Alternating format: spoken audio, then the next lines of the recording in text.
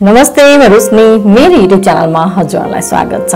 हामी हुर्किँदै गर्दाखेरि हामी आफ्नो यो समाजको कति नियमहरू हाम्रो सुन्दै आइरहेको हुन्छौँ। हामी त्यो समाजको नियमहरू होइन घरको जुन फ्यामिली मेम्बरहरूको कुराहरू सुनेर हामी ठुलो हुन्छौँ र कति कुराहरू हाम्रो सबकन्सियस माइन्डभित्र डिपमा गइरहेको हुन्छ होइन? अनि हामी सोध्छौँ कि हाम्रो यो समाज नै हाम्रो नियम हो हाम्रो समाज नै हाम्रो जीवन हो होइन? यही समाजको नियमहरूले हामीलाई अगाडि बढाउँछ। यही नियमभित्रै हामी यही घेराभित्रै हामी बस्नुपर्छ भन्छौँ होइन?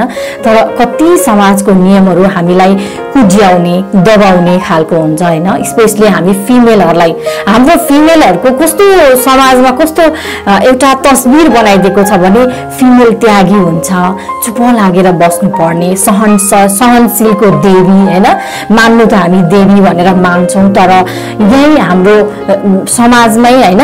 नारीहरूलाई चाहिँ एउटा यति धेरै दबाब भइरहेको हुन्छ यति धेरै हिंसा भइरहेको हुन्छ होइन? तर भन्नु चाहिँ हामी एउटा फिमेललाई चाहिँ यसरी पोर्ट्रेट गरेको हुन्छौँ कि फिमेलले सबै कुरा सहने एउटा फ्यामिलीलाई बचाउनुको लागि सबै कुरा चुप लागेर सहेर होइन अगाडि बढ्ने चाहिँ फिमेल हो भन्छौँ। अनि हामी त त्यही नियम त्यही कुरा हामी सुन्दा सुन्दा हामी अहिले अहिले पनि हामी आफ्नो बच्चाहरूलाई खुलेर हामी छोरीहरूलाई स्पेसली खुलेर उनीहरूलाई बाँच्न दिँदैनौँ क्या। अलिकति उनीहरूले अलिकति बाहिर एट्र्याक्सन भयो भने हामी उत्तौली भन्ने संज्ञा दिन्छौँ होइन? त्यो कस्तो एउटा नराम्रो छ भने नि।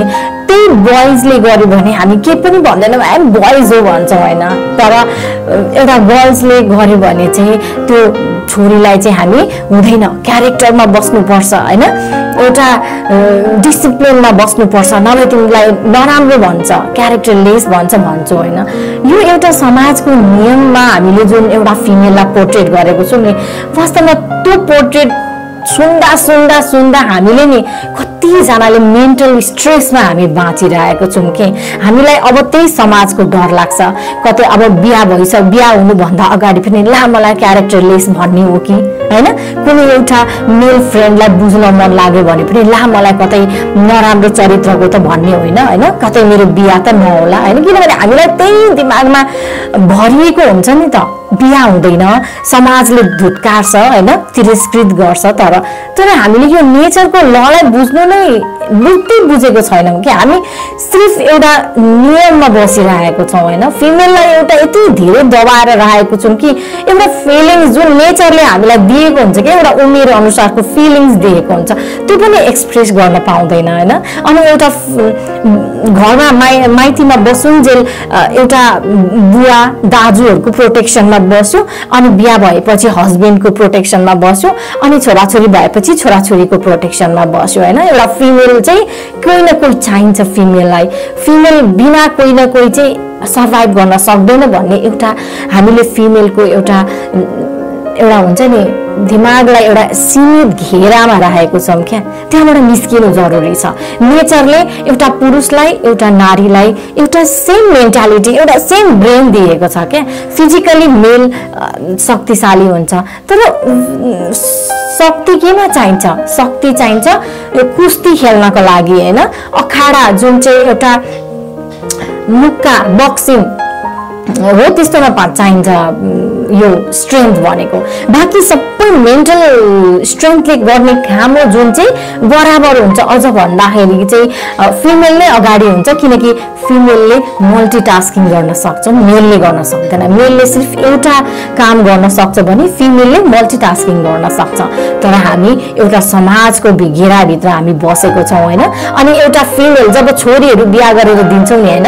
ऊ अलिकति छोरीले चाहिँ छोरीको घरमा चाहिँ गाडी छ सम्पत्ति छ होइन?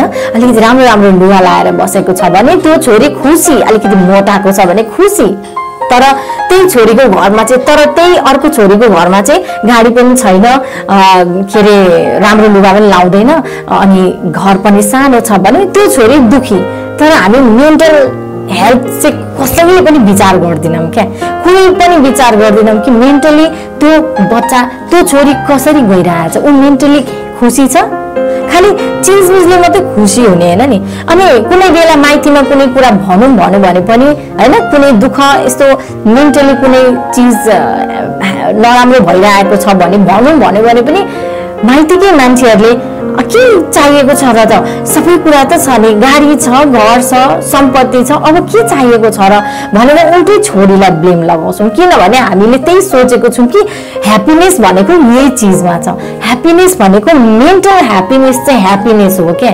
खालि यो लग्जरी चिजहरूले ह्याप्पिनेस होइन। हाम्रो यो दिमागबाट हामीले यो निकाल्नै पर्छ। हामी यो यस्तो छौँ कि छोरीले केही भन्न भन्न खोजिरहेको छ भने उसलाई नै ब्लेम गरेर चुप लगाइदिन्छौँ प्लिज कुरा सुनौँ होइन? कति फिमेलहरूले आफ्नो माइतीमा आफ्नो क्लोजमा भन्न खोज्छ तर माइतीले नै उल्टी त्यो छोरीलाई ब्लेम लगाइदिन्छ कि सबै कुरा छ। तिमी नै उस्तो होइन? तिम्रो हस्बेन्डले त सबै गरिदिइरहेछ तिमी नै उस्तो। अनि यो समाजको यो डर यो फ्यामिलीले उल्टै ब्लेम लाउँछ भन्ने डरले वास्तवमा कुनै पनि फिमेलले आफ्नो मनको कुरा आफ्नो माइतीको आफ्नो साथी दाजुभाइ दिदीबहिनी कसैलाई पनि भन्दैन। त्यसैले यो एउटा कन्सेप्ट हामीले निकालिदिउँ कि लग्जरियस चिज छ भने मात्रै मेरो छोरी खुसी हो नत्र भने खुसी होइन। एउटा केही नभएको छोरी पनि खुसी हुन सक्छ। मेन्टल हेल्थमा हामी ध्यानै दिँदैनौँ। होइन? भित्रभित्र छोरी डिप्रेसनमा पुगिसकेको हुन्छ अनि एकैचोटि सुसाइड गरेपछि थाहा हुन्छ कि ओहो मेरो छोरीलाई त यो पो दुःख रहेछ त। मलाई त कहिले पनि भनिन। हो यस्तो कुराहरू आउँछ। त्यसैले अगाडि नै बुझौँ हामीले यो दिमागमा कन्सेप्ट नै चेन्ज गरौँ कि यो चिजले खुसी हुने होइन क्या? ऊ कम्युनिकेसन गरौँ क्या? कति छोरीहरूलाई भन्नु मन लागिरहेको हुन्छ मेरो घरको स्थिति यस्तो छ। तर भन्न मन लाग्दैन किनकि हाम्रो जुन एउटा अन्धविश्वासै भनौँ न है खालि यही चिजले चाहिँ हामी खुसी हुन्छौँ भन्ने छ क्या हाम्रो दिमागमा। त्यसैले यो मेन मेन्टालिटीबाट निस्किम होइन? मेन्टल हेल्थ सबैभन्दा ठुलो कुरो यो जीवनमा केही छैन तर मेन्टल हेल्थ एकदम राम्रो छ भने त्यो पर्सन जहाँ गए पनि खुसी एक जोड कपडा लगाए पनि खुसी एक छाक खाना खायो भने पनि खुसी। तर घरभरि सामान छ तर मेन्टल हेल्थ ठिक छैन भने त्यो पर्सन दुखी। जतिसुकै होस् जतिसुकै लग्जरी लाइफ होस् त्यो पर्सन दुखी। सबैजनाले मेन्टल हेल्थमा काम गर्न सक्दैनन्। तर पनि त्यो छोरीहरूको गफ सुनिदियो भने पनि उनीहरूलाई हल्का हुन्छ तर यहाँ सुनि नै दिने कोही पनि छैन। त्यसैले यो दिमागमा यो नबसाम कि छोरी खुसी छ उसको घरमा टन्न सम्पत्ति छ ज्वाइँले चाहिँ टन्न सम्पत्ति ल्याइदिएको छ अब खुसी होइन। बुझौँ कुरा। कुरा बुझौँ मेन्टली खुसी छ कि छैन? होइन पहिलेको जेनेरेसनमा त भएन अबको जेनेरेसनहरू त एकदमै एजुकेटेड छन् नि त अहिलेको पेरेन्ट्सहरू। अहिले हामी बुझ्न सक्छौँ। अहिले हामी जति कम्युनिकेसन गर्छौँ छोरीहरूलाई पनि सिकाउँ कि मेन्टल हेल्थ एकदमै जरुरी छ। राइटलाई राइट भन रङलाई रङ भन। ससुरालीमा गएर पनि राइटलाई राइट भन रङलाई रङ भन। यदि रङमा कुनै पर्सन सबै पर्सन रङमा छ र राइटमा तिमी मात्रै छौ भने पनि तिमी राइटमा बस है। रङमा बस्नु पर्दैन। किनभने राइट भनेको राइट हो। एक दिन खुलेर आउँछ राइट कुराहरू। त्यसैले यो चिजलाई हामीले बुझ्नै पर्छ हामी पेरेन्ट्सले बुझ्नुपर्छ कि हामीले त सफर गऱ्यौँ अबको बच्चाहरूले सफर नगरौँ यो कुरा। हजुरहरूलाई यो भिडियो कस्तो लाग्यो प्लिज कमेन्ट बक्समा लेखिदिनुहोस् अनि नयाँ हुनुहुन्छ भने प्लिज लाइक सेयर अनि सब्सक्राइब गर्नु गरिदिनुहोस् अनि घन्टीको आइकनमा क्लिक गरिदिनुहोस् ताकि मेरो भिडियो अपलोड हुने बित्तिकै हजुरहरूकोमा नोटिफिकेसन आओस् होइन? अलरेडी सब्सक्राइब गरिसक्नु भएछ भने थ्याङ्क यू सो मच यसरी नै माया गरिदिनुहोस् सपोर्ट गरिदिनुहोस्। मेरो भिडियो हेरिदिनु भएकोमा धेरै धेरै धन्यवाद हजुरहरूलाई। धन्यवाद।